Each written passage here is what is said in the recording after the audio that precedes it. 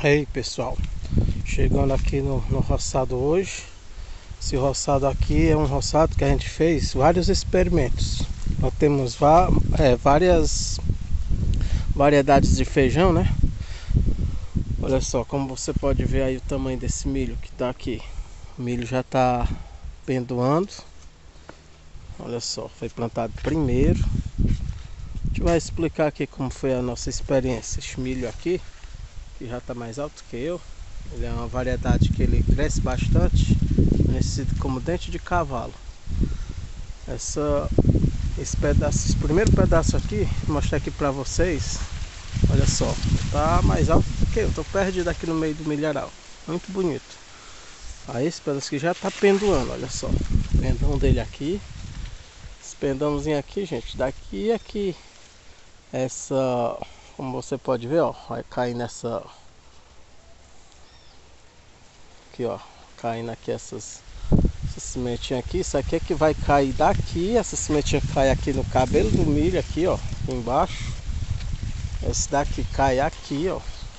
Se eu fosse polinizar, eu teria que tirar polinização manual, eu teria que tirar daqui, ó. Olha só. Eu tirar daqui para botar aqui. Daqui que o milho vai se desenvolver. É, esse pólen que dá aqui no pendão cai aqui no cabelo do milho e daqui ele se desenvolve. Aí este experimento que a gente fez aqui, esse milharal aqui maior, a gente plantou, fez a leira, olha só a leira aqui, eu deixei um pedaço aqui sem, sem o milho dentro, ó. olha aqui só a roça. Como é que tá? Ó. Só a rocinha, como já tá bem, dá pra você ver aí, ó. E aqui eu não plantei milho, como você pode ver, só a roça e o feijão. Aí tirei o feijão, a roça ficou, a roça já está bem desenvolvida, aqui não tem o milho para competir com ela. Tirei o feijão, ela plantei o feijão, o feijão já estava crescidinho, eu plantei a roça dentro. Como eu não plantei milho, olha aí o desenvolvimento dela. Aqui, como você pode ver, já tem o milho, ó, nessa carreira vizinha aqui, ó, tem milho junto com a roça. Vou mostrar aqui para você. Como já tem um milho aí, ó. Aqui tá aqui a carreira, que tem só a roça, olha a roça bem desenvolvida aí, ó. No decorrer da carreira. A vizinha aqui já tem o milho, ó. O milho competindo com a roça, olha a diferença. Como aqui tem uma competição, a roça tá bem pequena, como você pode ver, a roça ali, ó. Entre, entre os pés de roça tem uns pés de milho, aí é uma competição, né?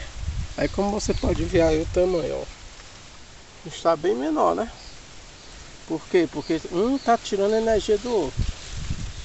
Aqui foi plantado, a leira foi plantada duas carreiras de feijão gurgutuba. A gente colheu o feijão gurgutuba. Aí ficou aqui, ficou a roça e o milho. Como ficou a roça e o milho, um fica competindo com o outro. Como você pode ver no tamanho aí, tá aí onde eles estão competindo. A roça é menor, como você pode ver. Agora eu vou mostrar pra essa, essa carreira, como eu já mostrei, ó. Essa, essa carreira aqui não tem milho, olha, olha só a diferença. Muito bonita, né? Aí você escolhe se você quer plantar os dois, se você vai dar prioridade para a roça, ou quer plantar só o milho, ou quer plantar os dois. Como eu aqui eu plantei os dois, né? Eu preciso de milho para alimentar aqui minhas aves, né? Tem as galinhazinhas, os porcos também, né? Aí eu plantei os dois, mas quem quiser dar prioridade à roça, tá aí, ó. A roça se desenvolve bem, mais rápido e melhor, né? E quem tem bicho para dar de comer, quer aproveitar a terra, também não tem nada a ver. Daqui a pouco esse milho vai estar tá bom. Você tira ele, colhe, corta a paia. Se quiser aproveitar a paia para dar aos animais, tudo bem. Se não, você corta a palha, bota aqui na, na no meio da leira, aqui ela vai servir de, de adubo, né?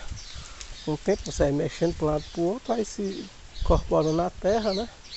Fica, fica a terra adubada também, né? Organicamente aqui. Olha só o milho tamanho. E a roça aí que não foi, tá só ela, diferença, né? Aí pessoal, como, como eu lhe disse, essa parte aqui eu plantei duas carreiras de feijão gurgutuba, o milho e a roça. Onde o feijão gurgutuba a gente já colheu aqui nessa parte. Aí ficou o milho e a roça. Onde tem o milho e a roça, a roça é menor. Onde tem só a roça, a roça se desenvolve melhor. Olha só aí. Agora a gente vai. Olha como o milharal tá bonito. O milharal aí, ó, ele, ele, ele vai crescendo, vai roubando a, a força da roça. Aí a roça lá, o tamanho aqui, ó. Como fica. Aí a roça vai sentindo, né? Ela só vai melhorar quando tirar o milho de dentro. Quando o milho a gente colher o milho, cortar a paia, aí a roça vai sobressair. Agora a gente vai mostrar ali para vocês na frente outro caso ali. Outro caso aqui para você, pessoal. Vou mostrar aqui para você outro caso aqui, ó. Aqui, esse, milho eu plantei primeiro, no começo do inverno. Ele já está todo pendoando. Olha só, o maior que eu já mostrei. E esse outro aqui foi plantado 15 dias depois. Então, tal que essa parte que já está pendoando, ó, o feijão já foi colhido. Agora essa parte aqui que ainda não está pendoando, o milho está menor, ainda tem feijão aqui para a gente colher. Vou mostrar aqui para você, ó. Feijãozinho aqui para colher, ó. Variedade de feijão aqui. Eu planto várias variedades de feijão, olha só. Como você pode ver. Esse milho aqui a gente ainda, a gente ainda vai colher. Aqui também tem o milho, a roça, olha, você pode ver a rocinha aqui no meio, ó. O milho, a roça e o feijão, que era o caso aqui que eu já mostrei para vocês, ó. Tá aí a roça, o feijão ainda por colher e o milho. O milho tá menor que foi plantado uns dias, né? Um dia depois. Olha aqui o feijão, como você pode ver, ó. O feijão já tá maduro. Se quiser colher, já dá. Se quiser comer maduro, já dá para colher.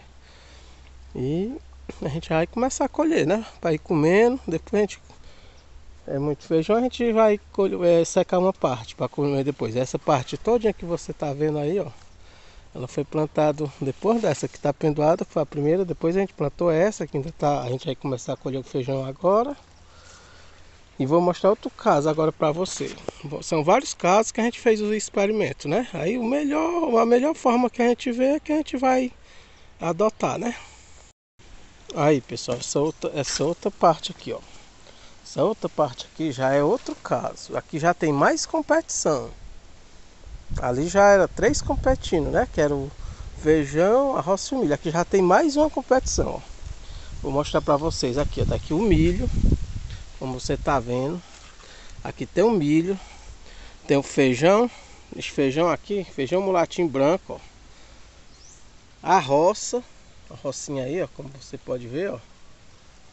Feijão branco, o milho, a roça, a ração 3. E para completar, o feijão de moita. São quatro competições. Aí o feijão de moita, como tá bonito. Feijão de moita aí, como você pode ver, ó, tá, já está enramando, ó.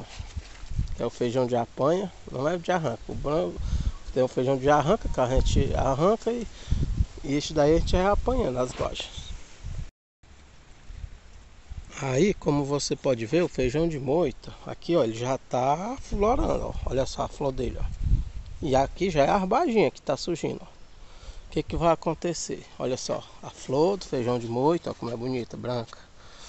O feijão de moita já tá saindo aqui, ó. A flor, como você pode ver, aqui, aqui já tá surgindo baixinho, ó. Aí como você pode ver, como eu lhe expliquei, ó, são aqui, ali onde eu comecei, eram três Três plantas completinhas. Aqui já são quatro. O milho, o feijão mulatinho branco, o feijão de moita e a roça. Quatro competição. Tudo dá para aproveitar, né? Tudo vai, vai, vai ter a sua vez. Vou mostrar para você que a roça, ó, a rocinha, tá, tá pequena porque ela tá competindo, a outra tá sombreando, né? Quando eu começar colher o feijão de moito, o feijão mulatinho aqui, primeiro que vai ser colhido. Agora que ele está florando, ó, como você pode ver, que é a flor do feijão de moito, ó, florzinha rosa bonita, ó, que é a flor do feijão de moito. Ó. Daqui uns 20 dias, um mês, eu vou estar tá colhendo ele. Ó. A baginha está bagiando também, ó, que é o feijão mulatinho. Que o feijão de moita, florando também, né? Já aqui já está já tá enramando. O milho, muito bonito, um milhozinho bem saudável. E no meio aqui a roça, aqui perdida, a rocinha. Mas aqui tudo tá, tudo tá, tá convivendo bem, né? Aqui a maneira que eu for colhendo, gente, A maneira que eu for colhendo, cada um vai ter sua vez. No momento agora, feijão mulatinho tá florando, tá embaixando. Daqui uns 20 de um mês eu venho aqui colher ele. A partir do momento que eu colher esse feijão, esse feijão mulatinho, o milho, a gente faz uma adubação no milho. O que que acontece? O milho vai dar uma, um pulo, né? Vai dar um salto, vai sentir. Ele vai, além de da gente tirar tirar o feijão de moita de dentro. Não, feijão, além da gente colher o feijão mulatinho, já vai, vai diminuir uma competição, né? Um competidor. Aí as outras culturas já vão, já vão se sair melhor, né? Que no caso vai ficar só o, o milho, feijão de moita e a roça. Aí o que que acontece? Tirei o feijão mulatinho. Aí ficou, né? Os três. Aí dos três, aí eu vou co começar a colher o de moita. Feijão de moita, que é o fradinho, né? Para quem conhece. A gente vai começar a colher ele também. Aí ele vai saindo, a gente faz adubação no milho também. A adubação que a gente fizer no milho, ela vai, ela vai servir para roça também. Até para feijão de moita também, que a gente vai. Ele custa mais, a gente fica a gente vai ficar colhendo ele é, apanhando as bajas, né? Dá várias apanhas, dependendo do, do inverno, né? A gente vai vir colher várias vezes. Tira só, vai tirando os que tiver maduro, quiser comer maduro, a gente vai tirando maduro. E o que a gente quiser deixar para secar, como, como o inverno já vai estar tá mais. No inverno já vai estar tá mais devagar, a gente vai deixando alguns para secar, né? Ou então colhe, leva para casa e vai botando para secar no sol, né? Aí como, como eu lhe disse, tá aí a competição dos quatro, vai colher o feijão de, de mulatinho, aí fica os três. Quando a gente tira o feijão mulatinho, a gente vem aqui dar uma adubaçãozinha no milho, adubaçãozinha com esterco de gato, se você alguém prefere botar adubo, uré, você que escolhe, né? Eu, eu particularmente eu gosto de usar adubo orgânico. Eu, eu, eu mesmo fabrico aqui meu adubo, eu eu uso o adubo, o esterco de gado, de, de, de cabra, carneiro, né? De criação. É, misturo com, com silagem, às vezes pego o capim, corto ele, passo na forrageira, misturo tudo, aí já é uma forma de eu multiplicar o meu adubo, né? Eu boto várias várias coisas, eu, eu incorporo folha seca, resto de, de resto de poda de árvore. Nessas restos de poda de árvore, tudinho eu, eu incorporo. É a, a os capim, essa parte que fica do capim, tiro o do capim, fica aquele, aquela caule do capim, eu trituro ou corto no facão mesmo pequeno, passa na, na forrageira e misturo no, no esterco de gado. Vamos supor, eu tenho 10 sacos de, de esterco de gado. Eu pego 10 sacos de, de de folha, de resto de casca de, de fruta, de verdura. Pego 10 sacos, junto ali, ó, meu adubo vai multiplicar, né? Vai ficar dobrado, né? E, e outra coisa, fica um adubo melhor ainda, que ele vai ficar bastante forte. Aí eu vou, pego aquele adubo, vou, vou misturar, dou umas água, faço umas aguação nele até ele ficar pronto. Eu passo o inverno preparando ele, o verão todo preparando ele. Quando é chega o inverno, eu estou com bastante adubo à disposição para usar nas minhas plantas, né? Tá aí como você pode ver, ó. Não é porque tem quatro culturas aqui, ó, estão tudo competindo, mas dá para você ver tudinho, ó. A visão aí, dá para você ver o milho bem verdinho, muito bonito. Dá para ver, você ver aqui, ó, o feijão mulatinho florando, já, já aparecendo baginho, ó. Estão competindo, mas estão saindo, ó. O feijão de moita aqui, ó, florando, já tem baginha também. E, e, a roça perdida aqui no meio. Vou procurar aqui para lhe mostrar. A roça tá perdida aqui no meio, mas ela também tá aqui, ó. Mostrar para você. Tá aí a roça, ó. Ela tá aí, mas quando eu vim aqui arrancar esse feijão aqui, ó, daqui uns 20 dias, um mês, eu venho aqui e arranco esse feijão, que ele é dos dois lados. Quando eu tirar ele, a rocinha vai sentir vai dar um, um, uma respirada. Eu venho, além de eu tirar o feijão, venho aqui, dou uma adubação aqui no meu milho, tanto o milho vai, vai sentir como a roça também. a roça ficando, daqui a pouco já chega o tempo do milho, eu venho colher o milho, ou eu corto a palha para dar para os animais, ou eu corto a palha e boto aqui mesmo, incorporo na terra, aí fica só a roça. Aí o que, que acontece? Só a roça ela vai né, prevalecer, que é a última cultura que vai ser colhida é a roça. Viu? Como você está vendo aí, olha que lindo feijão de moito. Ó. Tá aí, ó, né? É quatro culturas, tudo numa, numa leira só. Mas tá aí, como você pode ver, Estão todos desenvolvendo. E a última, o último caso aqui eu vou mostrar para vocês agora. Saindo aqui do, das quatro culturas. O nosso último caso aqui, nosso último experimento, para vocês verem aqui, ó. Olha só a diferença, as quatro culturas, né? Que é o milho, fe... o mulatinho, feijão de moito e a roça. Ali é quatro culturas. Aí já vem para essa aqui, que vai ser o que? Vai ser só três culturas de novo. Aqui vai ter o feijão, ó. Vou mostrar pra você. Aqui já é diferente, ó. Já tem o feijão. Ó. Feijão aqui é gurgutuba. Que o primeiro que eu plantei não deu bom, né? Porque eu plantei no comecinho do inverno. Aí aqui quem mora na serra sabe que a serração, né? A neve. A neve no começo do inverno ela, ela baixa muito. Aí quando ela quando a gente não tem aqui, eu vou mostrar para vocês o final, ó, o final ali.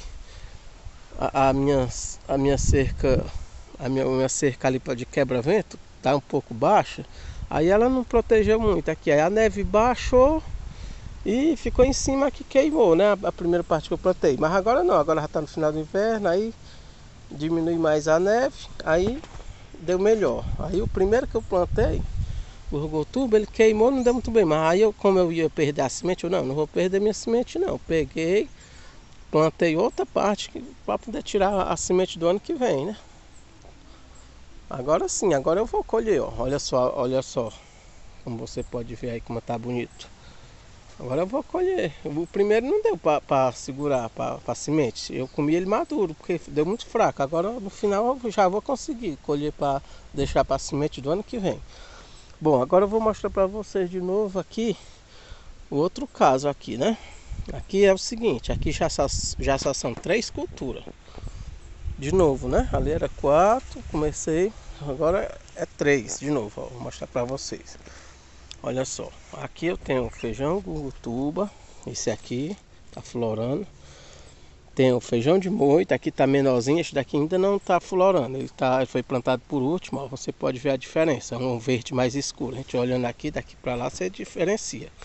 Este verde mais claro é o, é o feijão gurgutuba. E este verde mais escuro é o feijão de moita. E no meio deles dois, aqui já eu já não plantei milho, como você pode ver. Ó. Aqui não foi plantado milho, por quê? Porque já estava no final do inverno, o milho é uma cultura que ela exige muita água. E agora para o final do inverno é, é mais pouco, né? A chuva. Aí eu, eu como eu queria tirar, como eu queria tirar a semente, tirar, é, queria o feijão bom para ficar para semente, eu não, não vou plantar milho aqui nesse pedacinho não, porque vai, o feijão tem que dar melhor para me guardar minha semente para o ano que vem. Aí tá aí, como você pode ver, o feijão fogotubo, o feijão de moita e a rocinha tá aqui no meio também, olha só, a rocinha. Como você pode ver, ó, ela tá menor porque foi plantado por último. Aqui tudo tá menor. Agora o feijão gurugutuba florando, o de moita não está nem florando ainda e a rocinha está aqui. Quando eu é o mesmo caso, aqui só são três, só que o caso é o seguinte, eu venho aqui colher o feijão gurugutuba, né? Daqui uns, vamos supor, ele está florando agora, ele vai bagiar, vamos supor um mês e meio. Pode ser mais, pode ser menos, dependendo do inverno. Se continuar chovendo, fazendo sol, rapidinho ele sobe. Rapidinho ele chega. Aí ele vai chegar o feijão, o feijão gutuba eu vou colher. Aí já vai ficar só duas culturas, que é o feijão de moita e a roça. Aí o que que acontece? O feijão de moita ele é plantado mais longe, né? Aí a roça já vai conseguir respirar melhor. No final que eu, que eu consegui colher o feijão de feijão de moita todo, já, já tendo tirado o, Urgutuba. Aí quando eu acabar de colher o, o, o, o de moita, aí já vai ficar também só a roça, que é a última cultura, ela vai prevalecer aqui. A roça eu vou colher ela com com um ano e meio, dois anos, é que eu, eu gosto de colher minha roça sempre quando ela está bem madura, quando ela já está bastante, né? É, um, que eu, dependendo da terra, da adubação, a, a roça, ela, com um ano, se for numa parte que tenha baixa, que tenha água, que seja um, um terreno que ele seja molhado, você planta a roça com um ano, você colhe. Agora onde é aqui como é um alto, né? Não tem, não tem baixa perto, não tem água correndo perto, ela vai custar mais. Aí é o que? Um ano e meio, dois anos. Eu, eu sempre colho mais aqui como é no alto, eu colho mais com, depois de um ano e meio. De um ano e meio para dois anos é que eu gosto, eu tô colhendo.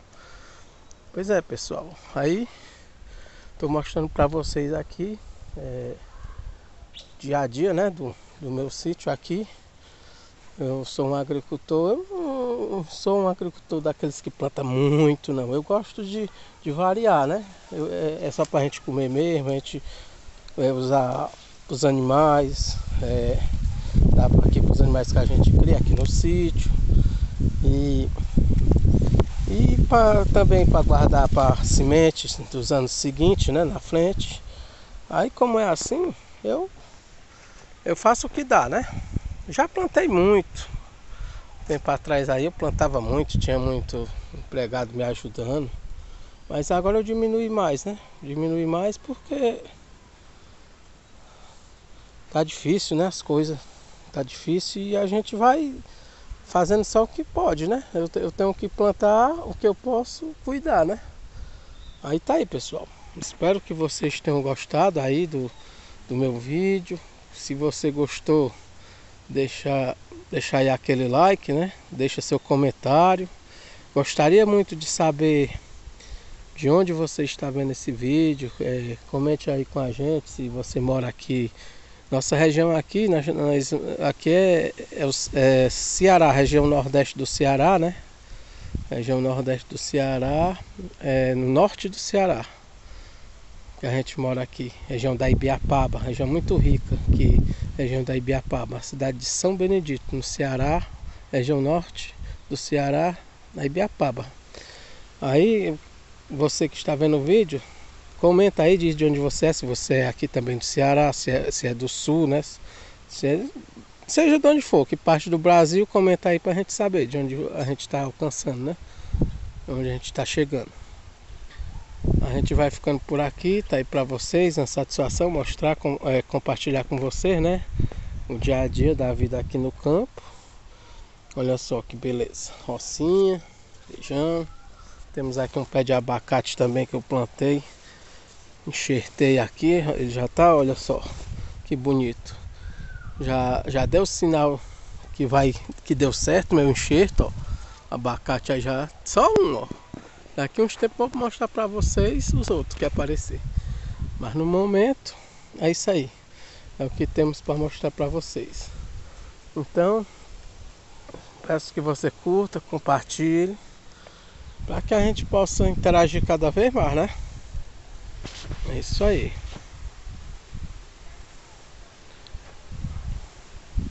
Muito bom, satisfação, né? O agricultor é, é ver isso aqui, tá no meio no meio da, da sua roça, né? Seu plantio, seja de que for. Aqui, é, nessa parte aqui, eu predominei aqui o milho, feijão e a roça, né? Aí eu tenho minha parte ali, eu tenho uma parte de sítio, de laranja, tenho café, tenho um abacate, tenho é, tem um sítiozinho que não é, não, é, não é muito grande, mas tem várias frutas que a gente pode consumir, né? As frutas aqui que dá na nossa região. Manga, jaca, várias frutas que a gente está é, introduzindo aqui no sítio. É isso aí, pessoal. Curta, compartilhe e fique aí com a gente. A gente está sempre mostrando as coisas boas aqui no, no nosso sítio. É isso aí. Valeu!